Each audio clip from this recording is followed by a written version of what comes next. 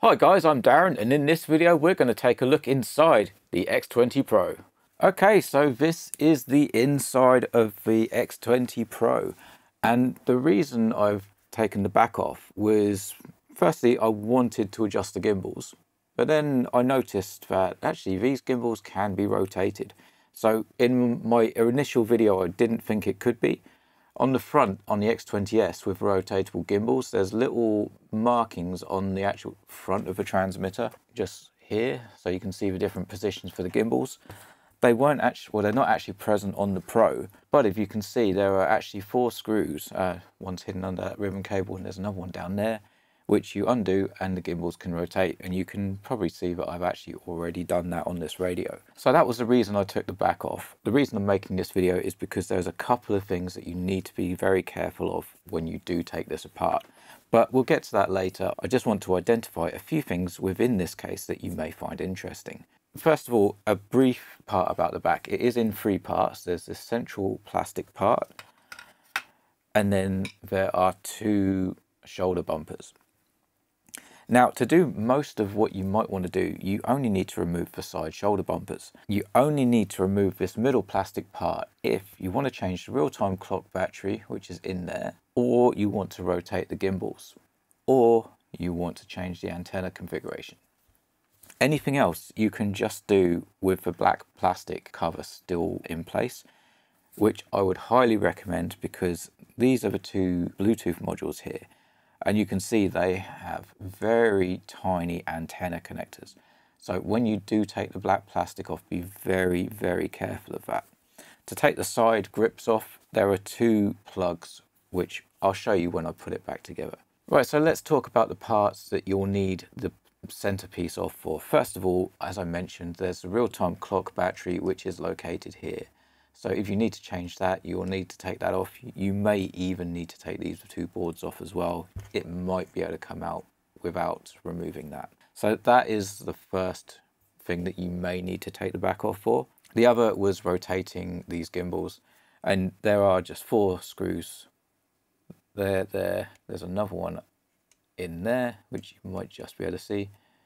And there's another one just under the ribbon cable. And you can get to all of them without removing anything else. You just undo them, rotate the gimbals to where you want them and tighten them back up. Don't over tighten them because this is just into aluminium so you don't want to rip the threads out so be careful of that. So we can see the antenna configuration. We have these two blue cables here going into this side of the screen which is for the 2.4 FSK.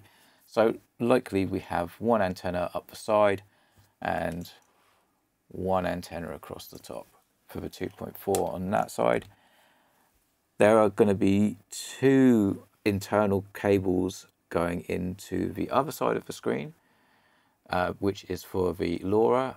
So we will have one up this edge and then one across the top. So that's the 2.4. You'll also notice that this black cable and this black cable are going to the external antennas connections. So this is the external antenna connection for FSK this is the external antenna connection for LoRa. This is the 900. So we have an internal antenna. It's not connected at the moment because as you can see, it's in the handle again. So that is the internal antenna for 900 megahertz.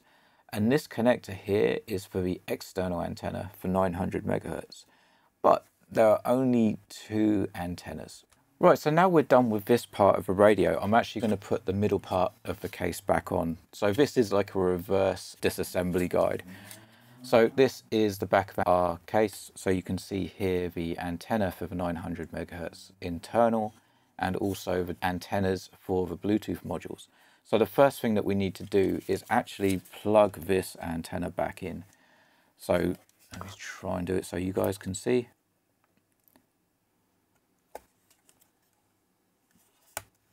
So that click, clips in. So we'll bring that around to this side and circle that around. That should just slide straight on. And we just want to make sure that yeah, that lead is not snagging in that grip, which that seems fine. So yeah, make sure you plug that back in. Now we have our back in place, we can put the screws in. Now there are two types of screws in the back of this radio. There are these pointed screws and there are the machine screws. Now the machine screws go down the bottom because they're screwing into the aluminium. The pointed screws go at the top because they're screwing into the plastic. And this is, I believe, a two and a half millimeter uh, hex key. So we're just gonna screw that in now. And the final thing would be to reconnect these little Bluetooth antennas to these two little connectors here. I'm not going to do that on camera because these are IPEX4 and they are extremely small and delicate. So I will be very careful putting these back on. If you're taking these off, be very careful when you remove them. It's very easy to damage these antennas. If of course you're doing this in the reverse, the other thing that you'll need to do before you take this part off is to take the battery out. So just remove it and then unplug the balance lead. I'm not going to plug it back in yet because I'm going to finish up with this. But first, let me plug these bits back in. Okay, so we've got our Bluetooth plugged back in. So now we're at the stage where we've only just removed the cheeks. And why would we only want to do that? Because we may only want to adjust our gimbals or maybe change from mode 2 to mode 1 or something like that. So on the gimbals, we have a couple of things we can adjust. We have these two here, which are the sort of brake and the ratchet for the throttle. So on mode 2, these, this one will be down for the ratchet, this one will be down for the brake. And you notice on this side, they're both completely up. If you want to swap the throttle from this side to this side, undo these two and do this one up pretty much full and then adjust this one so that the ratchet is to your liking. Everything else is done with the spring tension. And the spring tension, you can just see here, there's a little hole with a, a Allen key in it. And also here, there's a little hole with an Allen key in it. But uh, with these rubbers, if you pop up the end with the circle, which is actually easier to do with the grip off, inside there you can, if I can point to it, just there see another hole with the Allen key in. Of course on this one it's offset slightly because I've rotated the gimbals, but you can still get in there to do it. And the same with this side.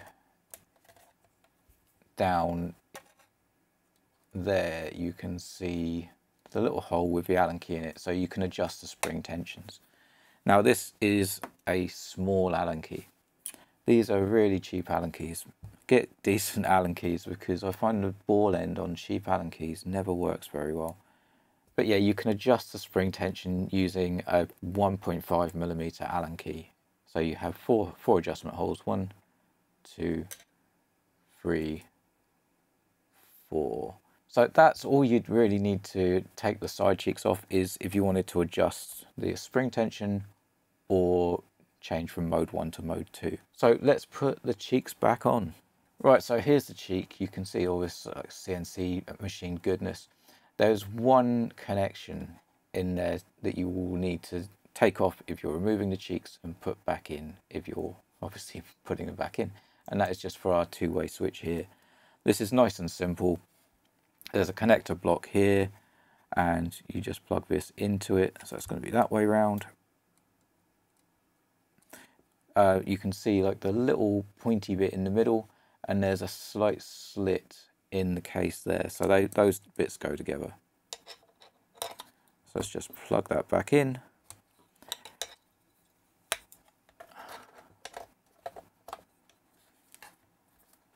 And then the grips will slot in. I found that the best way to remove it is you can just about get something slim under this corner. And that was the best place to sort of start getting it up and then it will come up the rest of, rest of the way around too which I'm going to have to do now to take, take it off to put it back on square. So it is a nice snug fit and these use three Allen keys. There's two at the bottom and there's one at the top and these are the same one and a half millimeter that you use to adjust the gimbals.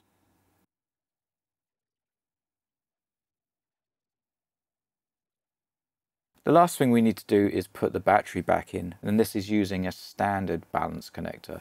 And inside here, the pins are actually at the top, so that means on our connector, we need these two little rails towards the top.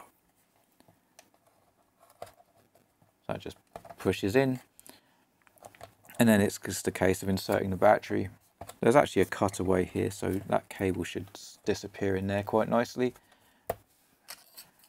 And then put the back on. So the last thing we do is just power on to make sure that everything is working well. Welcome to Ethos. Failsafe not set. Switch warning. So what we've done is we've taken the back off, so we need to make sure that our switches are still working okay. So the only ones we've removed, we can do a hardware check the two latching switches and they're all good. Nothing else was really tampered with. If you've got a Bluetooth device, try connecting it, but of course these, this should be fine if your antennas are plugged back in correctly. Final thing is if you've switched from mode 2 to mode 1 or you know from mode 2 that it ships with to any other mode, I'll show you where you can change that now. So we'll go to the system menu. Of course, we made the hardware change. Let's pretend this here is our elevator and this is actually ratcheted and it's the throttle. If we go into sticks, you can see the different modes at the top. So you just change that to mode 1 uh, it's complaining the throttle's not in a low position because it's in the middle. Um, so we just go yes. We now have throttle here, aileron here, elevator here, rudder here. I'm going to change it back so I don't forget.